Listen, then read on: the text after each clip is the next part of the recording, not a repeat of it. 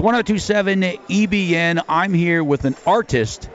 He did this bottle right here for Jameson, limited edition that you can only get right here in beautiful Dublin, Ireland. Paul Daly, thank you so much for sitting down. Pleasure, pleasure. Happy St. Patrick's Day. Happy St. Patrick's Day to you as well. Now, this has got to be a tough gig working for Jameson, right? Yeah, well, no, uh, what it is, I'm an independent artist, but I, they uh, they asked about eight uh, Irish artists, fairly well-known artists, to come up with ideas, and I won the competition.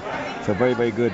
Nice chunk of change, I'm hoping, yeah, yeah, right? Yeah, yeah, very good. Very good, very good. Now, do, you have uh, you do other artwork as well, I do, obviously. yeah, I do. I design. I have my own bars and restaurants as well, but but this is an incredible thing to do. So I know a lot about the industry, and that possibly made it made it work for me in a sense. But I wanted to sort of try and bring the ancient uh, symbolism of the Celtic work juxtaposed with my sort of rock and roll background Yes. onto this design. Well, when you walked in here, I thought, what band is that guy in? Because yeah, we've been interviewing bands and Yeah, stuff today, yeah. and I'm thinking, oh, he must he must be the front man for a band, and here you are, an artist. Well, I used to be. That's what I used to do. I used to be in a band, but but the thing was just to bring that whole culture. You know, that that is is the culture of music and everything, uh, which is like a modern Ireland, and it's same. It's a sort of culture that's really, you know, all over the world now. Obviously, with youth culture having won.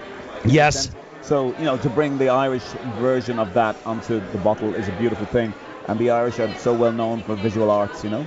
You guys, and we've been here for a week now, and I can just say, uh, the people here of this country, your country, are just you can just tell they're so proud. I don't care if you're a cab driver, I don't care if you're a bartender. Everybody has always got something. They're always willing to help us out. Absolutely, and talk. Well, well, obviously Irish love, love Americans.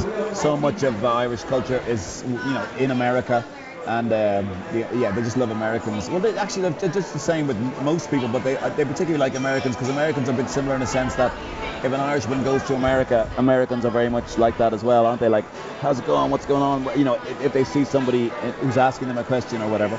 So the same thing happens here, but um, but the Irish are famous for that. It's you know, and we're so we're so just enthralled with the accent as well, Yeah. especially the women. Yeah. Oh my God, an Irish when when we had Kelly over here from Jameson earlier, Yeah. and she could have read a, a cooking recipe or something. I would have just been like, mm-hmm. So that's great. Does it fit? So it seems really exotic to you. Yes. Really, that's good. It's- Now, but now, how do now we really don't have accents? I don't think in America. Like if you're from maybe the East Coast or something like that, but do you hear like does our Oh, yeah. language sound really Oh, well- bad? Well, no, no, no, no, no. Well, well, first of all, I used to I, I used to live in New York, so I know actually different regional accents in America. oh, okay. But um, uh, like I, the same in Ireland, we have incredible regional, incredible strong accents. Like even in this, from different parts of the city here, from the north, from the south, from the east, from the you know from the west of Dublin itself, there's different accents. And uh, so in terms of the rest of the country, there's strong accents from every region. Um, but to you, it might all sound similar in the same way that in America, a Texan accent is different. Oh, I got you. Yeah. Virginian. But obviously, America's just so much bigger, you know. Now, can you do uh, can you do an American accent at all since you've lived there? Oh yeah, I mean I can put it on a little bit, you know, to put, push it along, and maybe people won't really be able to tell the difference. I don't know. It kind of goes in and out of different regions. That's what they tell me when I when I start to do my Irish accent. They're starting to say like, oh, it's, Well, that's uh, it's- Yeah, see, exactly. it starts with the best intention, then it ends up north. you immediately went to a bit of a Scottish thing there now, which is a much stronger thing. Yeah, like yeah. No, no, no, no. An Irish accent is a very like it's, it's a yeah, it's a harder thing to do.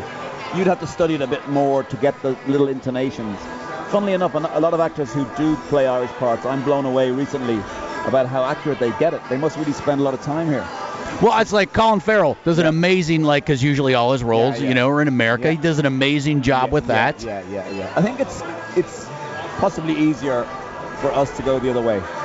I think because a lot of the accent, I think the Irish accent is similar, makes up a lot of the American accent in English. Obviously, um, it makes up for a lot of it. And I don't see English people being able to make their uh, accents immediately that quick. I can even ask my niece Timea, who's seven, Tim- Timea, put on an American accent, and she'd give it a go. If I said to her, Timea, put on an English accent, it wouldn't be as easy for her. Really? Yeah. Well, if we're anything Americans, we are easy. That's for sure. That's for sure. Now, are you going to be uh, are you going to be with us tomorrow for the celebration here? Of course. That'll be Of great. course. Yes. That'll be wonderful. Yeah, yeah, Listen, great to meet you, man. And uh, This is John Daly's bottle right here that he Yeah, designed. yeah, yeah. All right, and we'll see you tomorrow, man. tomorrow. Thank you so much for stopping by. you. All right. thanks.